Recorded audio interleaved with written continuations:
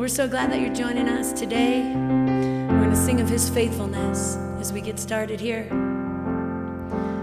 Just close your eyes with me. Lord, you're so worthy. You're so faithful.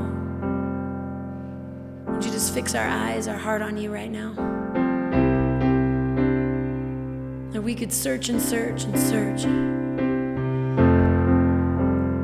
for fulfillment, for satisfaction, but it's all found in you, Jesus. Hmm, we just thank you that you can take the ashes of this world and you can change them into beauty, the ashes of our life. We thank you that that's what you do. Hmm. Thank you that there's nothing that compares to you, Jesus. As we sing to you today, just ask that you be glorified as we lift you high. We love you in Jesus' name. Let's worship him together. And I'll search the world, and it couldn't fill me. And man's empty praise and treasures of faith are never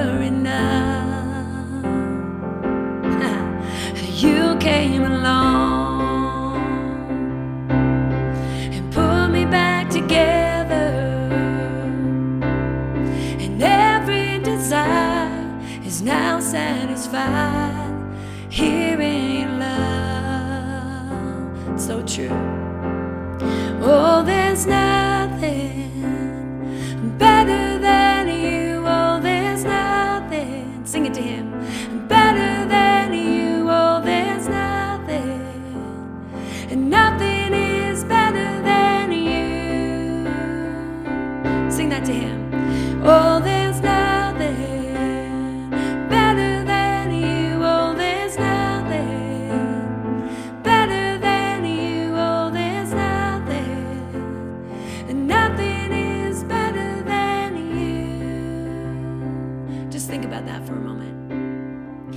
nothing better, nothing that satisfies, nothing that this world has to offer. Hmm. Jesus, we just thank you. Hmm. There's no fear in you. I'm not afraid to show you my weakness of failures and flaws. Lord, you've seen them all. You still call me. Hallelujah. The God of the mountain, the God of the valley. And there's not a place your mercy and grace can't find me again. Hallelujah. Oh, there's nothing, sing it to him, better than you. Oh, there's nothing and nothing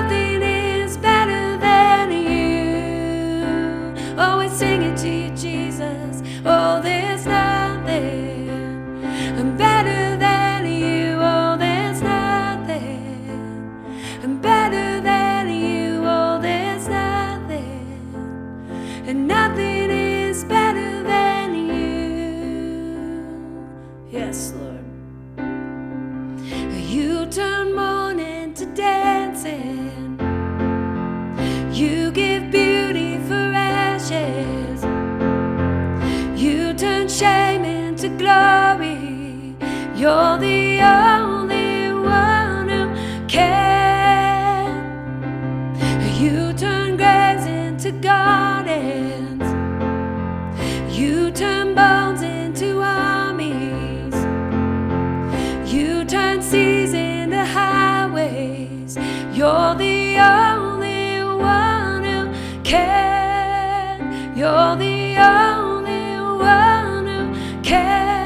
that. You're the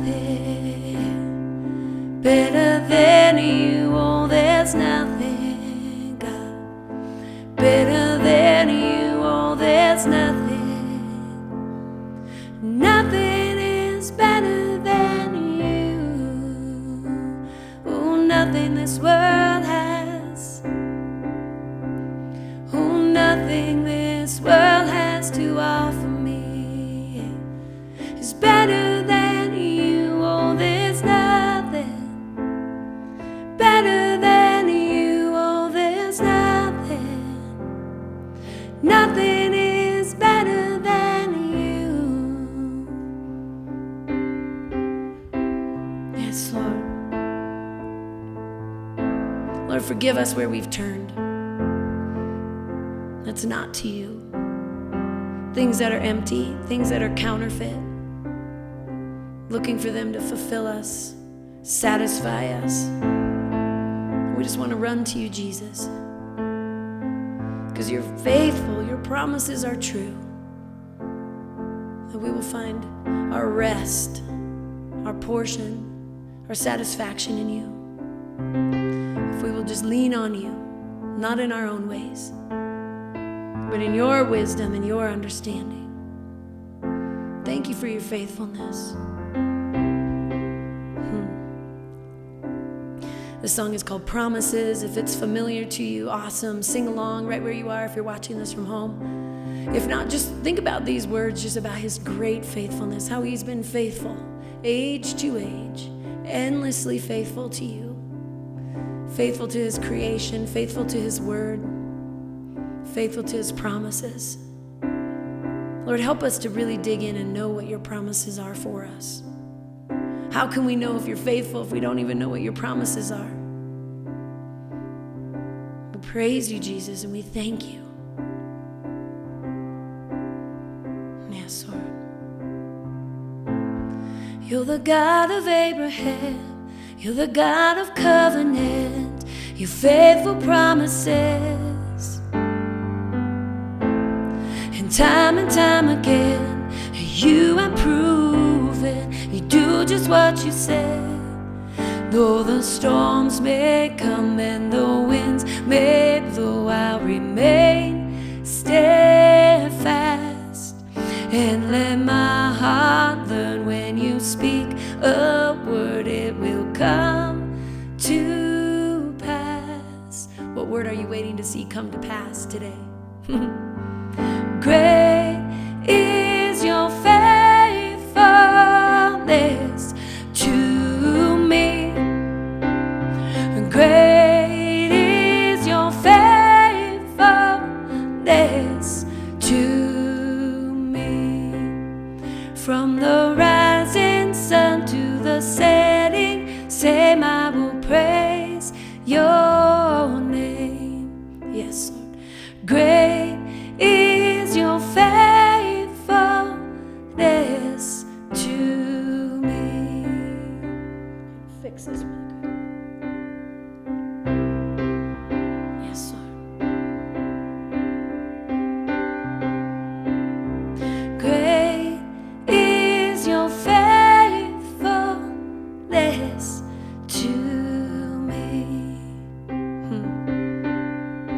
sing this together.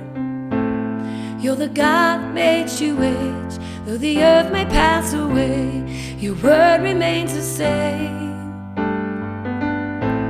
History can prove there's nothing you can't do. You're faithful and true, though the storms may come, the winds may blow. I remain steadfast and let my heart upward it will come.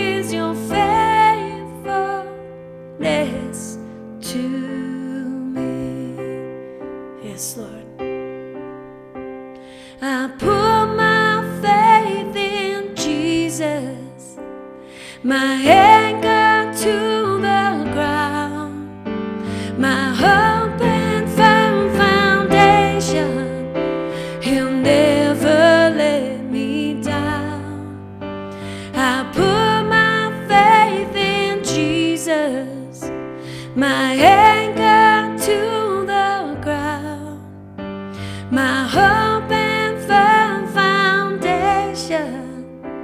He'll never let me down. He'll never let me down. Great is your faithfulness. Great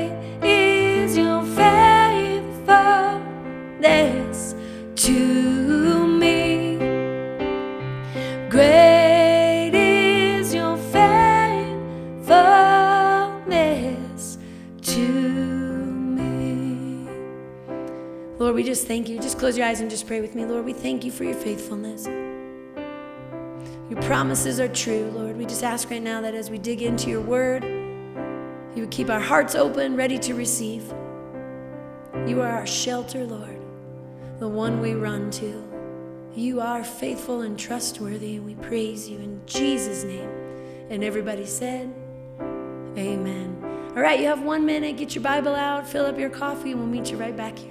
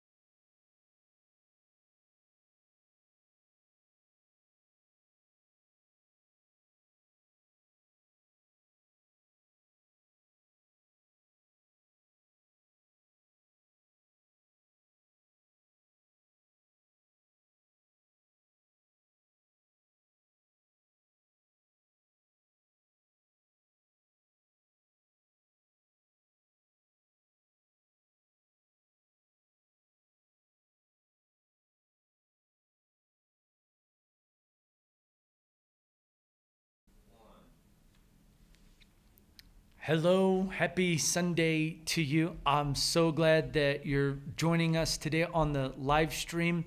Today, we're going to start a really fun journey together, a journey through Psalms 90. So, I almost said Psalms 91 because we've spent a lot of time there, but Psalms 90. We're going to go on a journey through Psalms 90. So, if you have your Bible with you, let's open it up and turn to Psalms 90. While you're turning to Psalms 90, I want to ask you really quick if you're part of our local tribe fam community, well, even our extended community, um, it, the way that we keep in touch with you throughout the week, not to fill your cell phone with all kinds of text messages because you're inundated enough with information. But we send out a tribe text blast. And on New Year's Day, I send out a tribe text blast with a link to a podcast by a guy named Corey Russell from the Upper Room Dallas church that's run by Michael Miller. They're right in the greater Dallas area. And Corey Russell preached a great message. This was about November of 2021, so just this fall. But I've I listened to it once and I listened to it again and again, and I I felt so strongly that Corey Russell was saying what we have been talking about for a year, almost two years, and it's so cool to see how Senior Pastor Jesus is touching the heart of so many churches around the world with the same Maranatha message. So if you have not had a chance to listen to that podcast, make sure you go back and listen to it. And if you don't get our text blast, just send us an email. Uh, our information, uh, contact information, email is on the website, and we'll make sure to get that podcast to you because it's so good. I really would like every single one of our Tribe Fam members to listen to that podcast, all right? Okay, so you've had enough time to turn to Psalms 90. I'm going to go ahead and read all of Psalms 90. It's not that long.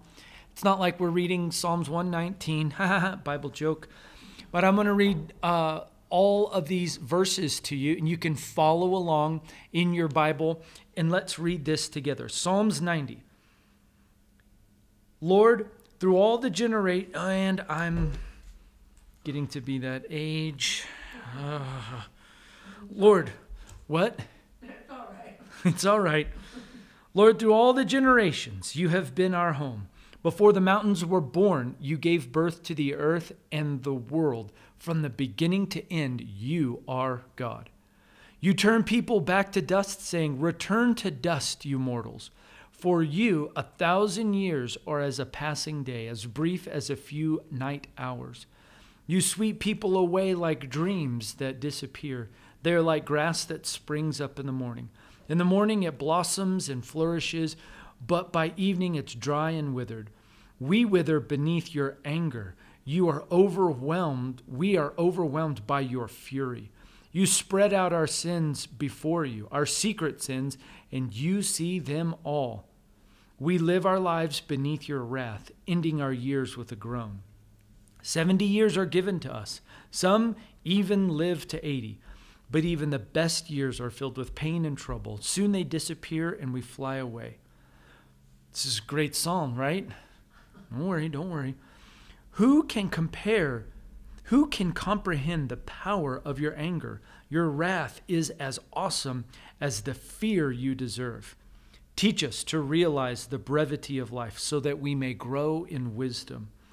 O Lord, come back to us. Man, if that's not the Maranatha cry in the Old Testament, I don't know what is.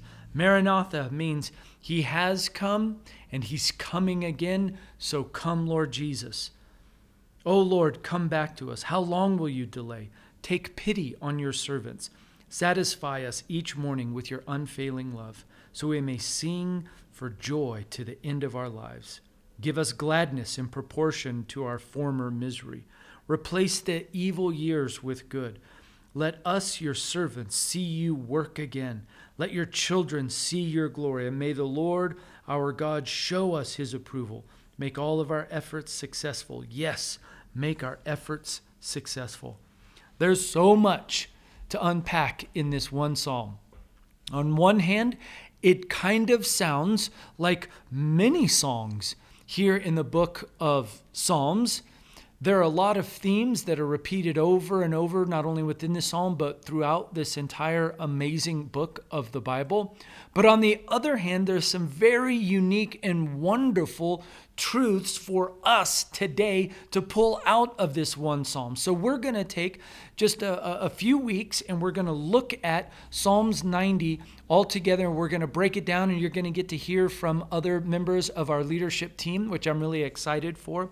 But today, I'm going to take you through the introduction and give you an overview of this psalm, and then we're just going to look at verse 1 and 2 together. All right? Does that sound good?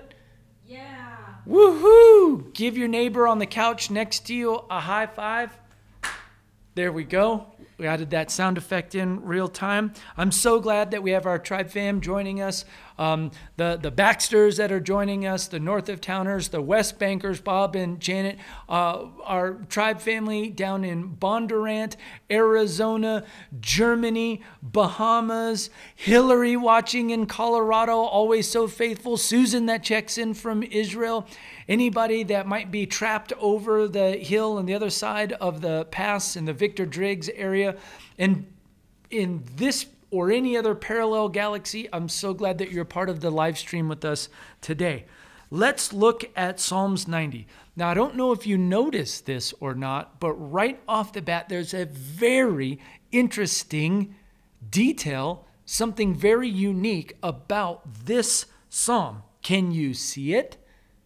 I remember years ago, Lissa and I, before we had kids, we were on a trip to Costa Rica, and we're like, "Hey, let's do one of these like, uh, uh, like river sightseeing tours with like alligators and stuff. Alligators or crocodiles? Eh, alligators, alligators."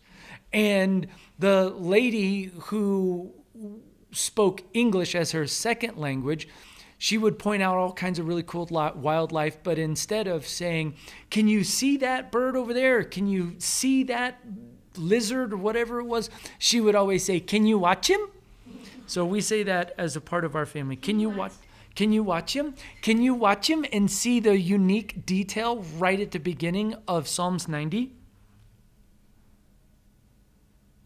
I know you see it. Who wrote Psalms 90? Usually we plunge headlong into these Psalms imagining that it was David, but no, no, no. Can you watch him? Look who wrote Psalms 90 a prayer of Moses. This is a unique song because it's in the book of Psalms, but it's written by Moses. Now, lots of biblical scholars think about uh, when this was written. If it was even written by Moses at all, but maybe it was just attributed to him. Ah, let's throw in uh, this song. I don't know who wrote it. Ah, let's give let's give credit to Moses. I do not believe that the Bible is haphazard, nor the writers and organizers of the Bible was that haphazard at all. If it says that this was a song of Moses, it's a song of Moses. So now, when was this song written? Some scholars believe that it was written during Babylonian exile. Well, that's impossible because that was hundreds of years after the life of Moses. So I don't believe it was written then. It was written sometime within the lifetime of Moses. Was it written during the 40 years of wandering through the desert? Perhaps. Was it written in the first 40 years of his life living in Egypt? Probably not because you can see the, the, the pain and the hardship, the, the gritty rawness that doesn't usually come out in comfortable places like palaces, but more comes out in uncomfortable places like a desert. I tend to think as I read this that this verse, this prose that Moses wrote, was written after he was 40 years old when he left Egypt, remember, he fled Egypt after killing an Egyptian. Remember, the Bible talks about, right here in Psalms, you spread out our sins before you, our secret sins, those sins that might be buried or hidden, like an Egyptian that you murdered underneath the desert sand. Perhaps. So that's when I think that Moses wrote this, was in his he turned about, it was about 40. And then uh, from 40 to 80, he spent wandering, not wandering in the desert, but living in the desert. The Bible talks about the backside of the desert. If desert is a remote and desolate enough place, this says that Moses was on the backside of the desert.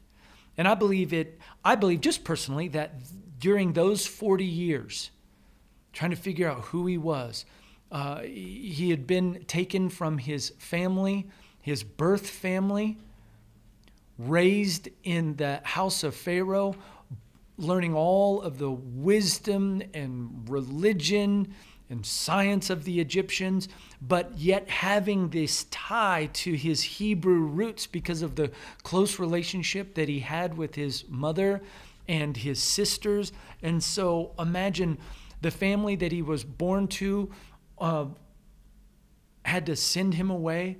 The family that raised him, he fled from. He's in a foreign place and, and alone with his thoughts, thinking, man, I know that this God has something for me, but but I've got I, I've messed up, I've blown it. These secret sins are just laid before you.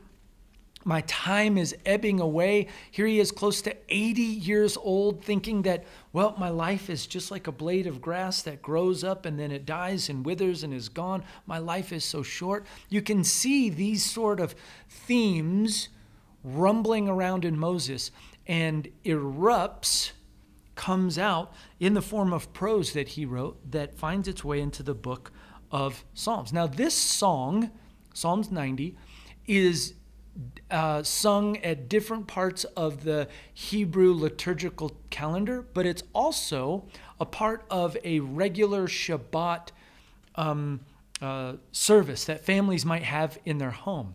So this psalm, there's so much to it, and today we're only going to get into verse 1 and 2. All right? So let's look at verse 1 and 2. Lord, throughout all of the generations, you have been our home. Before the mountains were born, before you gave birth to the earth and the world, from the beginning to the end, you are God. As I read this, these two verses, there are three themes that I see coming out of these first two verses, and I want to share them with you briefly. The first one is this idea of refuge. Wherever you are, discipleship campus, or if you're watching alone by yourself today, say that word refuge. Say it. Refuge. refuge. Very good. Reminds me of that Bob Dylan song that always reminds me of Lissy. Come here and I'll give you Come in, she said, and I'll give you shelter from the storm. God is our refuge. Can you see that theme coming through in verse 1 and 2? Again, think about Moses looking for some type of relief or refuge from the hot, burning sun, all alone, no family, no direction. The sun beating down on him. Maybe he's, he's a shepherd, he's taking care of livestock, and he's like, I need some refuge. Reminds me of Psalm 71, verse 3. Be my rock of safety where I can always hide. Give the order to save me, for you are my rock and you are my fortress.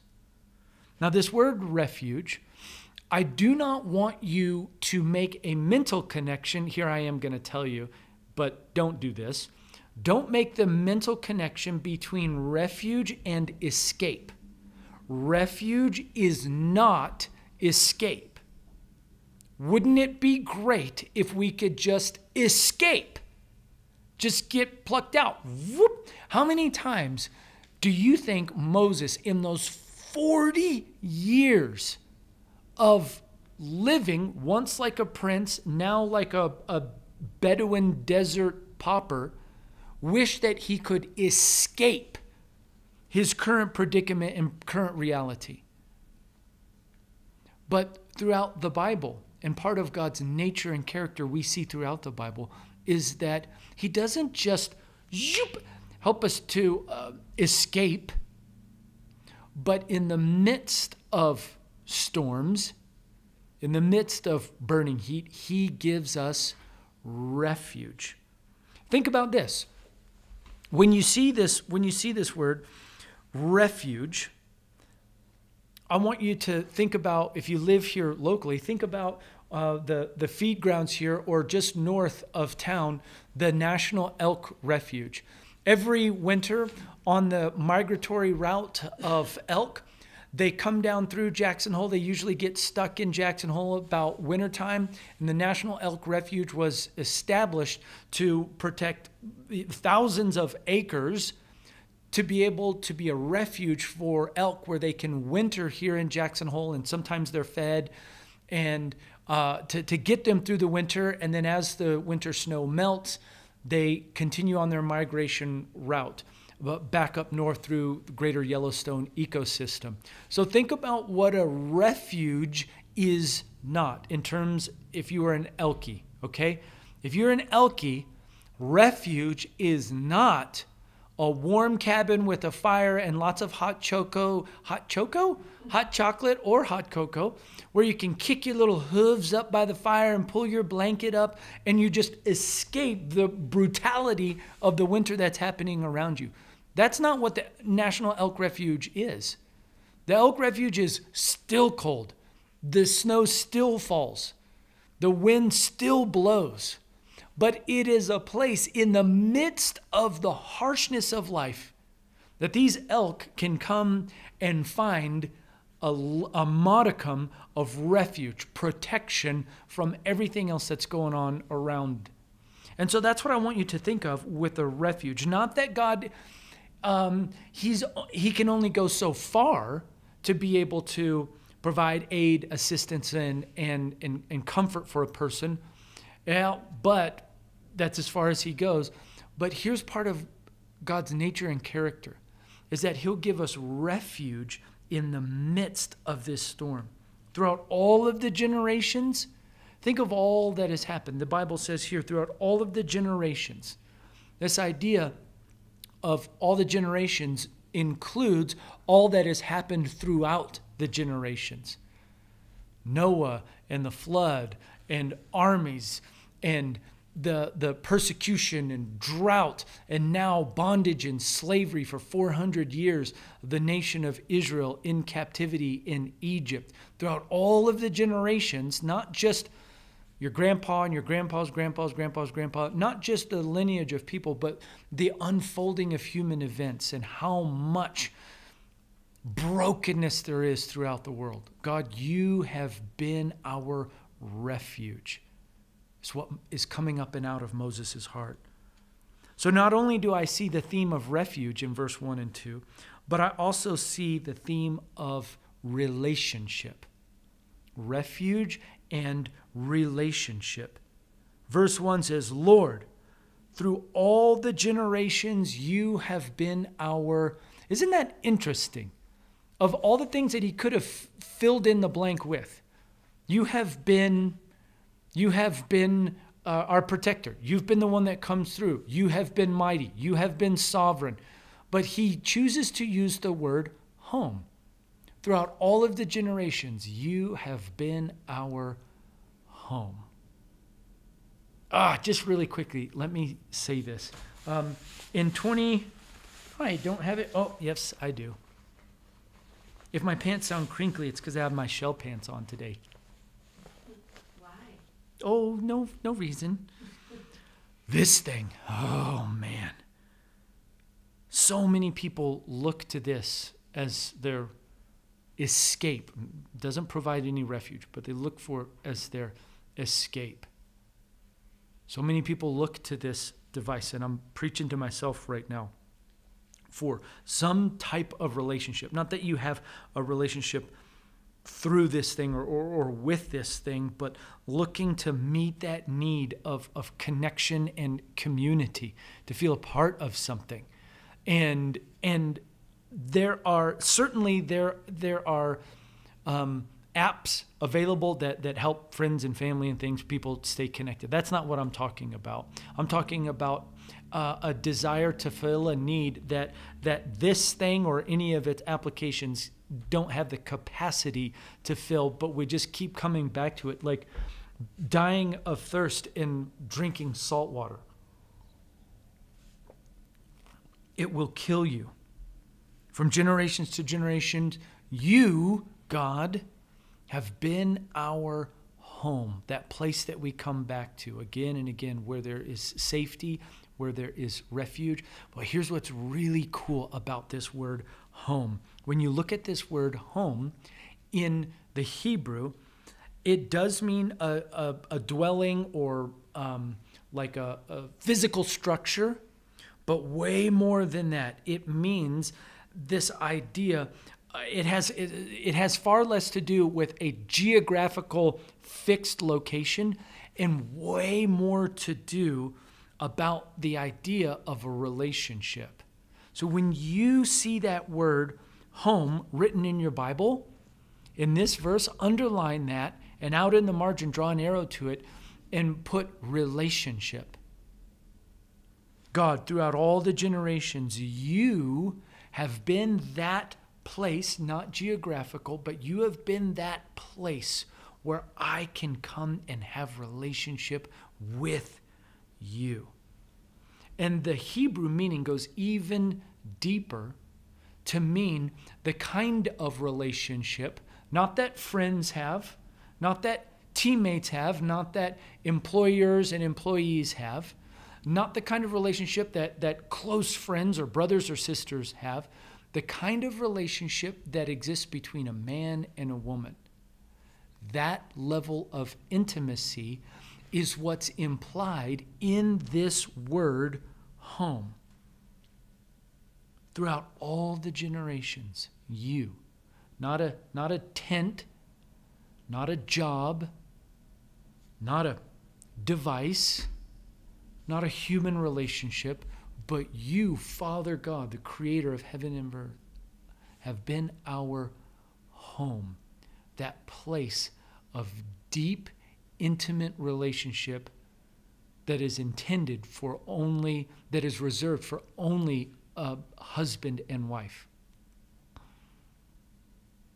How amazing is that? Think about what Noah, Noah, think about what Moses was going through. He's left his ancestral cultural home of his family.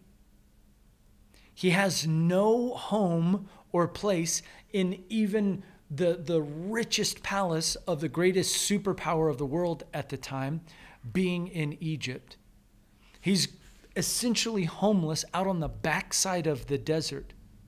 And it's out of that place where he has nothing, where he says, God, you are my home. Maybe you find yourself in a season right now where it seems those things that are most comfortable and most familiar to you have been yanked away or are crumbling or crumbling around you or going through difficulty all around you you can remember not only is God your refuge to to give you strength and support in the midst of difficulty and opposition but he is also your home where you can have relationship with him regardless of where you find yourself that's some really good news. Here's the last thing.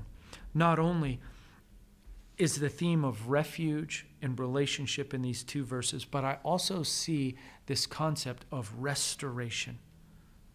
Before you gave birth to the earth and the world from the beginning, you are God. I see this context of in the midst of when we come to Him for refuge, we find relationship. As we develop a relationship with God, a byproduct of that is restoration. Now, restorate the theme of restoration, you're going to have to look through several more of these verses because isn't it interesting? It's almost like a paradox that we can call that we can find refuge in Him that we can find deep, intimate relationship with Him, but yet at the same time, Moses is also talking about the fury of God and how our sins are laid bare before Him and the, the, the righteous anger of God expressed towards our sin. How are we supposed? Ah, that's one of the beautiful dynamics of God. Is that when we come to Him, we find refuge with Him. And in that place of refuge, we get to develop a relationship with Him. And part of that relationship includes restoration. Look at Proverbs chapter 18, verse 10. The name of the Lord is a strong fortress. The godly run to him and are safe. That word safe in the Hebrew is a really interesting word. I know that we didn't have time to, to turn there, and I'm going to land the plane with this. Proverbs 18, just write it down in your notes 18, verse 10. That word safe is a really beautiful word because it does mean protection from, but it also includes with it this idea of being lifted up and above, to be elevated to a place of strength that only happens in the context of experiencing restoration. God loves to take people that have no sense of, of belonging because they've left their family, been ejected from their family. They find themselves in the midst of a wilderness, dragging with them a weight of their past. And God scoops them up. He gives them refuge. He releases to him the context of relationship. And then, as a byproduct, they can experience this beautiful restoration. So we're going to see we're going to see more themes throughout Psalms 90. But I just wanted to give you uh, an introduction and an overview to all of Psalms 90. Just focus on these two verses. But would you do with this with me as Lissa comes to the keyboard? Would you just close your eyes for a moment? And let's invite the presence of the Lord to come to us and meet us where we're at today. Maybe you find yourself in a place where you need refuge. Like that Bob Dylan lyrics Come in, she said, and I'll give you shelter from the storm. Maybe you find yourself feeling far and distant from God, and you need that relationship. He's there. Maybe as you come close, you see that your sins are laid bare before Him, nothing is hidden from Him. And you, in your deepest heart of hearts, you're looking for restoration. All three are available. All three are available to you today. Let's just close our eyes and invite the Holy Spirit to speak to us. Mm-hmm.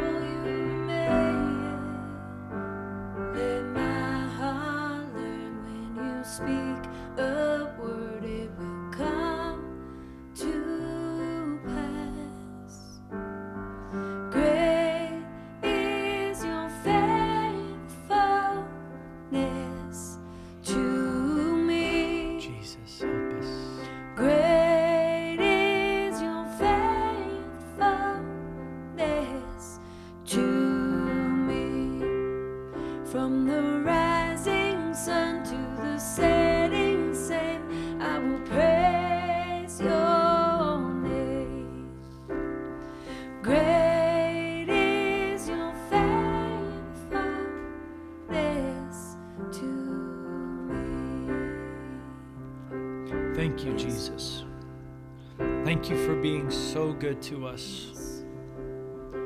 There's such riches available to us that, that are open wide to enter into a new depth of relationship with you, contained in every single verse. Father, I pray for our tribe fam as we go on this journey. We're not it's not going to be long, just a couple of couple of weeks as we go on this journey through Psalms 90. Speak to us. Change our hearts and change our lives through this song that came out of a deep cry of Moses' heart that was recorded in scripture and been available to us. Change our lives, Jesus. We ask you.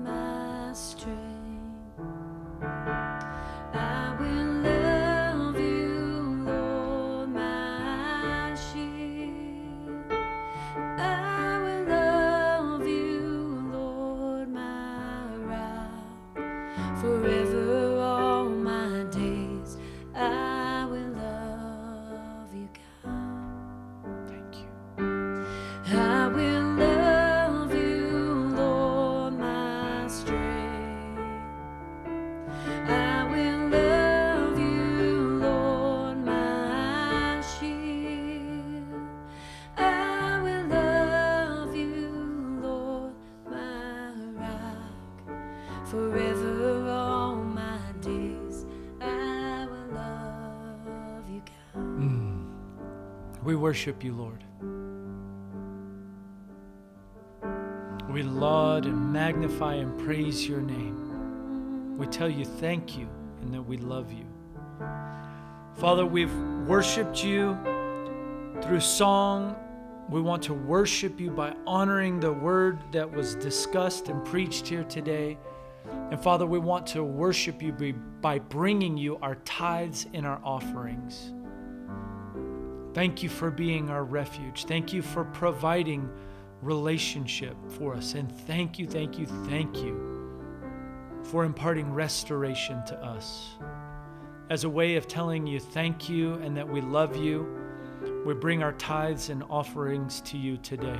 God, I ask that you would use these finances that come in today, finances that come that have ultimately come from you but have been wrought and dug out of the earth with the sweat of their brow, the calluses on their hands.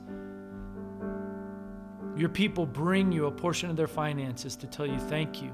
We love you and we trust you. God, I ask that as they bring their finances for you, would use these finances to make your name famous here at Tribe, in Jackson Hole, the surrounding region, and to the uttermost bounds of the earth.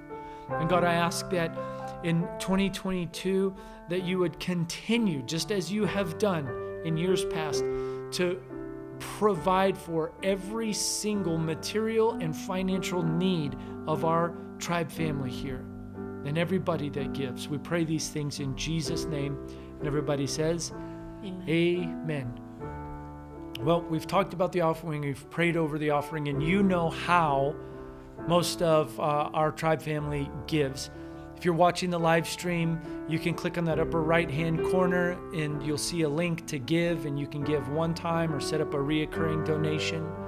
If you live here in the local community, we have a little black lockbox that you can always drop a check or cash off in. Most of our tribe fam is generous through their smartphone. If you open up a new text message to 84321, you can you can make a donation that way.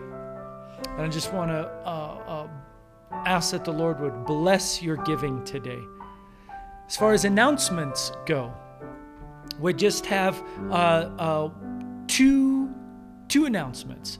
The first one is this: at the end of January, we're going to do a baptism. We already a water baptism. We already have two people signed up, and so at the end of the month, we're going to do a baptism. If you've never been baptized in water, or if you were baptized like as a baby and don't really remember it or it wasn't significant to you, and right now the Holy Spirit's stirring your heart, you've invited Jesus into your heart to make him the leader of your life. That's a very inward and personal decision. But as an adult, as a mature person, you haven't been baptized in water, which is an outward sign or a public profession of your faith, send us an email and we will get you on the schedule to get baptized in water. That's thing number one. Thing number two is if you're part of our normal tribe fam and you attend services regularly, we would love for you to pray about doing one of two things or both. Number one is join our uh, hospitality or our host team as we have services and different events here at the TMC on Sunday and on Tuesday. We would love for you to help host Uh, and that just means pretend like this is your home. Get everything ready to have people over and and welcome and greet people and make people feel like this is their home, which it is. And number two, we have a, a sign up sheet here at the TMC for providing a meal on Tuesday, 6 p.m. So whether you're a great cook or you're really good at ordering food, it don't matter. Tuesdays 6 p.m. we always have a meal here and we would love for you to sign up to take one of those meals. I think that's all the announcements that we have this week. Yeah. If you're watching, wherever you're watching, would you just stand up for a moment? Let me pray for you. Go ahead, set your Bible down, set your coffee down, stand up, and let me pray for you, all right? Lord Jesus, I command a blessing over each and every member of our tribe fam. Thank you so much for taking us by the hand on this journey that Moses went on as through Psalms 90. Just command a blessing over our tribe fam. This week, we pray these things in Jesus' name, the strong Son of God. And everybody says, Amen. I love you so much. Don't throw your back out shoveling all this snow, but get out there and ski it. Have a great week. I love you, and you got this.